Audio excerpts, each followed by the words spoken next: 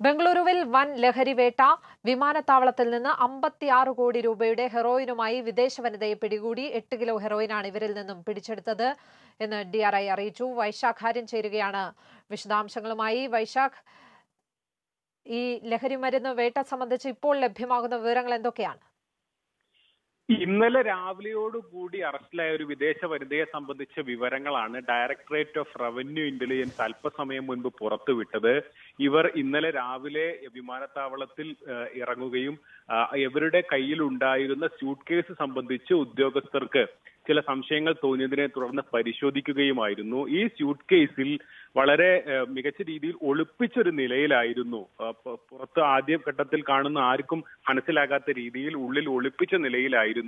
ഈ എട്ട് kilo heroin എന്നാണ് ഉദ്യോഗസ്ഥർ അറിയിക്കുന്നത്. ഇതിന് മാർക്കറ്റിൽ ഏകദേശം അൻപത്തിയാറ് കോടി രൂപ വില മതിക്കുന്നതാണെന്നും ഡി ആർ ഐ വാർത്താക്കുറിപ്പിലൂടെ അറിയിച്ചിട്ടുണ്ട്. ഇവരെ അല്പസമയം മുൻപ് കോടതിയിലടക്കം ഹാജരാക്കി നിയമ നടപടികളുമായി മുന്നോട്ട് പോവുകയാണ്. കേസന്വേഷണം ഇപ്പോഴും പുരോഗമിക്കുകയാണ് എന്നുള്ളത് കൊണ്ട് ഇവർ എവിടെ നിന്ന് വന്നു എന്നതിനെ കുറിച്ചുള്ള വിവരങ്ങളൊന്നും തന്നെ ഉദ്യോഗസ്ഥർ പുറത്തേക്ക് വിട്ടിട്ടില്ല. ഇവർക്ക് ഏകദേശം മുപ്പത്തി അഞ്ച് വയസ്സോളം പ്രായമാണ് എന്ന് മാത്രമാണ് ഔദ്യോഗികമായി അറിയിക്കുന്നത്. അതേസമയം തന്നെ ഉദ്യോഗസ്ഥരിൽ നിന്ന് ലഭിക്കുന്ന വിവരം അനുസരിച്ച് ഇവർ സിംബാവൻ സ്വദേശിയാണ് എന്നാണ് നമുക്ക് മനസ്സിലാക്കാൻ സാധിക്കുന്നത്. ഏതായാലും നിയമ നടപടികൾ തുടരുന്നു. ഈയിടെ ആയിട്ട് പിടികൂടിയതിൽ പിടികൂടിയതിൽ വെച്ചിട്ട് ഏറ്റവും വലിയൊരു ലഹരി വേട്ടയായിട്ടാണ് ഇതിനെ കണക്കാക്കുന്നത്. ലക്ഷ്മി. വൻ ലഹരി വേട്ട തന്നെയാണ് ബംഗളൂരുവിൽ നടന്നിരിക്കുന്നത്. വൈശാഖാര്യനാണ് വിശദാംശങ്ങൾ നൽകിയത്. ബംഗളൂരുവിൽ നിന്ന്.